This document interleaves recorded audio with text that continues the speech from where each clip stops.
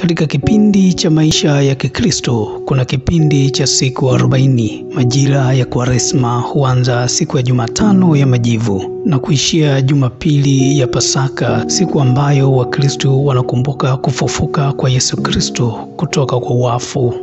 Lakini Kwaresma ni kipindi maalumu ambacho Wakristo wanakumbuka maisha ya Yesu Kristo hapa duniani. Na neno Kwaresma lilitoka wapi? Kwaresma ni kipindi maalumu ambacho Wakristo wanakumbuka maisha ya Yesu Kristo hapa duniani, hususani mateso, kufa na kufufuka kwake.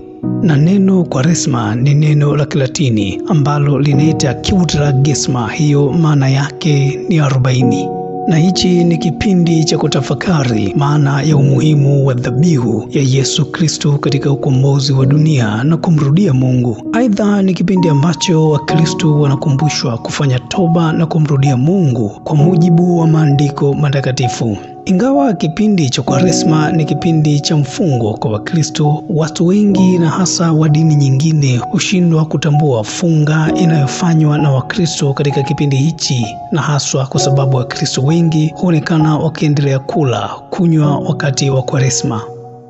Wakristo walio wengi pamoja na kufuata kielelezo cha Yesu Kristo ambaye alifunga siku arobaini usiku na mchana, huzingatia maagizo ya Yesu mwenyewe na nabii Isaya ambayo kwa kiasi kikubwa hufafanua aina ya funga ambayo Wakristo wanapaswa kuzingatia.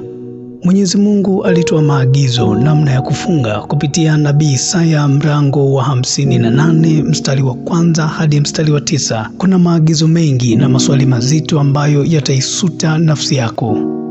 Mwenyezi Mungu alitoa maagizo haya baada ya kuona watu wengi wakipoteza muda mwingi na kujitaabisha kwa chakula, kujitesa miili yao ili kumpendeza Mungu, huku wakisahau mambo muhimu ambayo Mungu anawataka wafanye ili kumpendeza. Katika kipindi hicho Wayahudi walikuwa wakifunga kwa kujitesa sana, ikiwa ni pamoja na kuacha kura, kuvaa nguo zao za thamani na kuvaa magauni, kujipaka majivu na wengine kujipiga na kujikata miili yao ili waone maumivu zaidi. Aidha, watu walikuwa wakitumia kipindi cha kufunga kuonyesha umma jinsi walivyowacha Mungu na hivyo kupenda kupewa heshima mtaani. Mtu asiyefunga alionekana mjinga, mtenda dhambi na asiyefaa katika jamii. Kufunga ilikuwa ni sehemu ya maisha na si swala la uhusiano binafsi kati ya mtu na Mungu. Kwa vile Mwenyezi Mungu wetu wa upendo na huruma alimtuma nabii Isaya kuambia watu hawa kuachana na funga isiyo na maana, badala yake kuelekeza nguvu zao katika mambo muhimu ambayo Mungu anaagiza katika kutathmini utu wa mtu. Mambo hayo ni upendo, huruma, kujitoa kama ilivyoelezwa kwa nabii Isaya 58 mstari wa pili mpaka wa tisa juu ya kuacha uovu wa aina zote. Kwa msingi huo, mtu mwenye upendo naye anayejitoa kuwasaidia wengine ana thamani kubwa mbele za Mungu kuliko mtu anayeshinda njaa siku mia tatu za mwaka pasipo kuonyesha upendo wa kweli kwa wengine. Yesu Kristo alipokuja ulimwenguni alisisitiza maneno ya nabii Isaya kwa kutaka watu waache tabia ya kufunga na kujionyesha kwa watu na badala yake wajitahidi kumpendeza Mungu. Yesu alisema hayo katika kitabu cha Mathayo 6 mstari wa kumi na sita. Nenda kausome.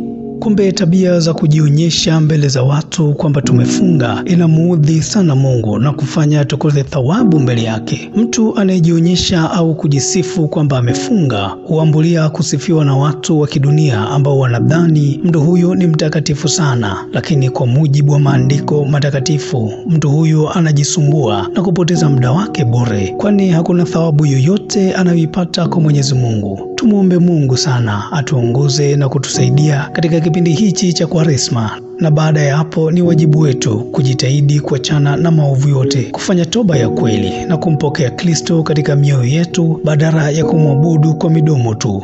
Tunapaswa kukumbuka kuwa Mungu wetu ni yule yule kabla, wakati na baada ya kipindi cha Kwaresma. Hivyo kipindi hiki kiwe kipindi cha kutukumbusha na kutuandaa kwa ajili ya wakati mrefu ujao baada ya Kwaresma. Kwa kusema yote hayo, nadhani ulikuwa umeelewa maana halisi na tafsiri kamili ya kipindi cha Kwaresma. Tufunge kwa ajili ya kufanya mambo ya kumpendeza Mungu. Asante, nikutakie mfungo mwema wa kipindi cha Kwaresma.